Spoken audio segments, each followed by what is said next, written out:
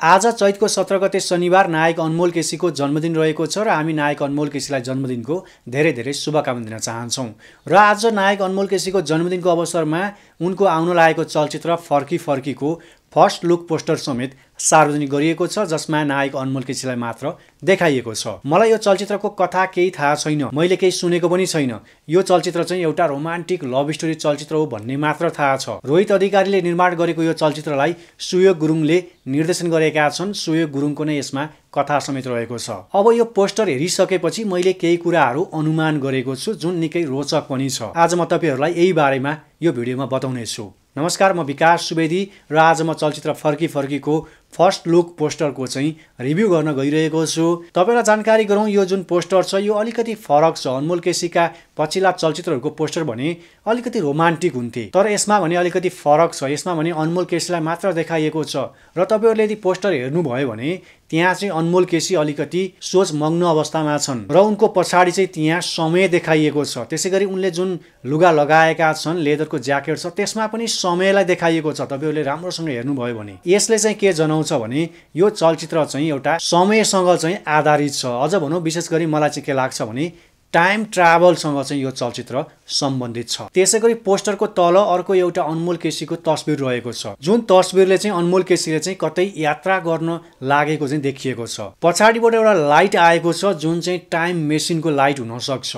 र त्यो लाइटले गर्दा चाहिँ त्यहाँ उज्यालो छरिएको छ। नत्र भने त्यहाँ चाहिँ डार्क छ अँध्यारो छ। त्यो लाइटले गर्दा मात्र त्यहाँ उज्यालो आएको छ। अर्थात् डार्कको अर्थ चाहिँ के हुन्छ भने कतै पास्टको कुराहरू हुन्छ। यदि त्यहाँ एकदमै उज्यालो चारैतिर हरियाली कलरफुल भइदिएको भए चाहिँ फ्युचरसँग रिलेटेड हुन्थ्यो तर त्यहाँ चाहिँ डार्क छ। त्यो लाइटले मात्र चाहिँ त्यहाँ उज्यालो दिएको छ। त्यसले गर्दा चाहिँ यो चलचित्र पास्टसँग चाहिँ सम्बन्धित छ भन्ने चाहिँ मैले अनुमान गरेको छु। त्यसै गरी यो चलचित्रको नाम फर्की फर्की छ। फर्की फर्कीको अर्थ भने फर्केर हेर्नु पछाडि फर्केर जानु या पछाडि जानुलाई चाहिँ बुझिन्छ। यसबाट पनि के बुझिन्छ भने यो चलचित्र पास्टसँग चाहिँ रिलेटेड छ। अर्थात् अनमोल केसी चाहिँ फ्युचरबाट चाहिँ पास्टमा जान्छन्। यो चाहिँ यो चलचित्रको कथा हुनसक्छ भन्ने कुरा चाहिँ मैले यो पोस्टर हेरेर चाहिँ अनुमान गरेको छु। यहाँ फ्युचरमा जाने कुरा छैन यहाँ पास्टमा फर्कने कुरा छ। हुनसक्छ त्यस्तो केही कारण हुनसक्छ पारिवारिक कारण हुनसक्छ या जसिता गुरुङसँग पनि सम्बन्ध हुनसक्छ त्यो कारण पनि हुनसक्छ केही एउटा यस्तो कारण छ जुन कुरा चाहिँ अनमोललाई के लाग्छ भने पास्टमा कुनै एउटा त्यस्तो घटना छ केही कारण छ जसले चाहिँ उनलाई अहिले फ्युचरमा चाहिँ रिग्रेट गरिरहेको छ। जसले गर्दा उनी पास्टमा गएर त्यो कुरालाई सच्याउन चाहन्छन्। जसले गर्दा उनी पास्टमा फर्केर जान्छन्।